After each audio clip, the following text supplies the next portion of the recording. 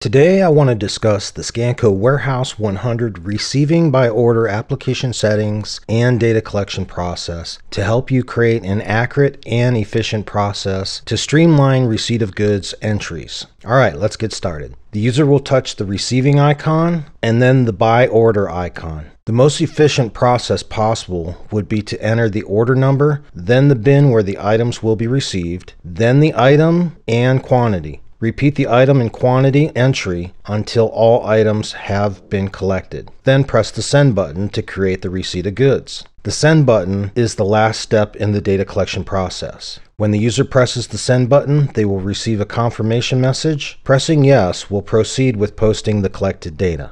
Your process may be just that simple, or you may see a slightly different set of prompts.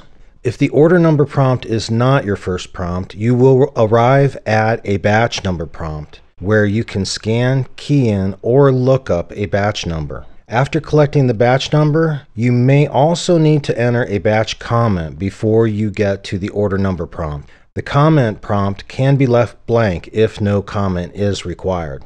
At the order number prompt, you can scan, key in, or look up an order number.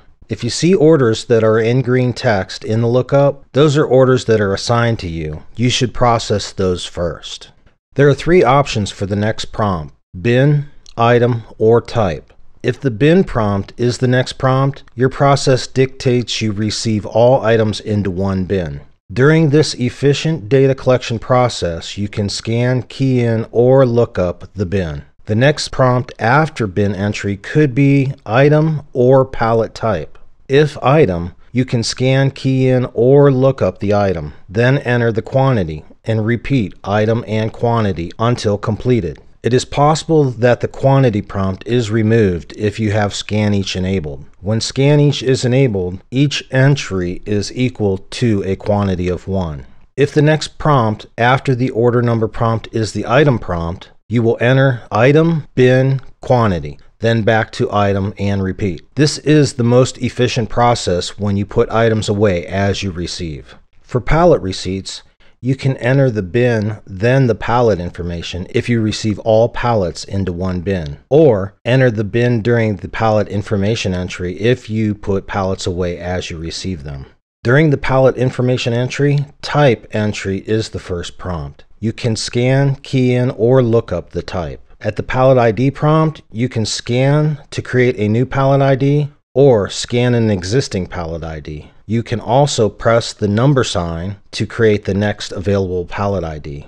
You can also key in or look up an existing pallet ID.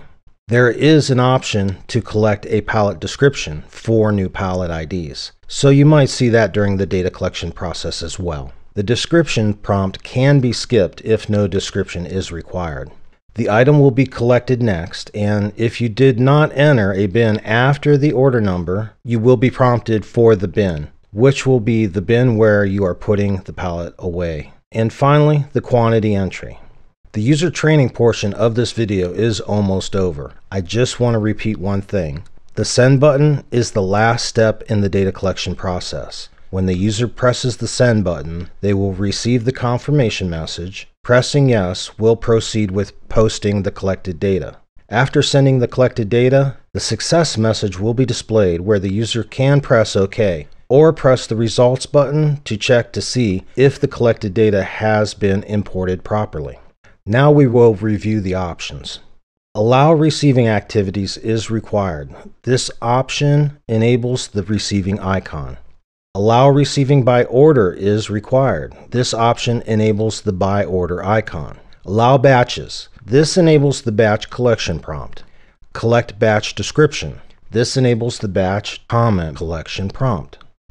Allow multiple users in an order. When enabled, more than one user can receive the same purchase order at the same time. Allow over receipts. This allows receiving a quantity higher than the quantity ordered prompt for unresolved lines. This warns the user if they did not receive all items ordered. Default initial prompt. This can be set to item or pallet. Allow receiving pallets. Must be enabled to allow pallet receiving. Collect pallet description. Can be enabled to collect description for new pallets. select bin before item. Disable if you put items away as you receive, or enable if you receive all items into one bin. Allow miscellaneous items. When enabled, the programming will allow miscellaneous items to be received. Scan Each has three options. When no Scan Each is chosen, the Scan Each button will not be present on the device. When Allow Scan Each is chosen, the user can turn Scan Each on and off on the device. When Scan Each Always Enabled is chosen, the Scan Each button on the device will be green and the user cannot disable it. This concludes the Scanco Warehouse Receiving by Order application presentation. Thank you for your time.